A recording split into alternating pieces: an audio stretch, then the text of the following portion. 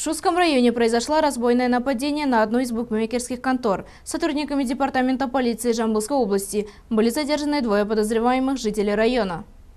В дежурную часть Шуйского района Жамбулской области поступило сообщение о том, что в 4,5 часов неизвестные лица, ворвавшись в букмекерскую контору, путем угроз похитили деньги у кассира. В ходе следствия было установлено, что молодые люди, отжав пластиковые окна, ворвались в помещение букмекерской конторы и, угрожая кассиру неустановленным следствием оружием, завладели деньги в сумме 773 тысяч тенге. После чего неизвестные скрылись в неизвестном направлении. В результате разыскных мероприятий сотрудниками департамента полиции полиции Жамбылской области подозреваемые были установлены и задержаны. Ими оказались ранее судимые 23 и 24-летние уроженцы Жамбылской области. В ходе допроса задержанные дали признательные показания. По данному факту начато досудебное расследование по статье 192 части 3 УК РК «Разбой». Подозреваемые водворены в ИВС. Ведется расследование. Задержанные проверяются на причастность к иным аналогичным преступлениям.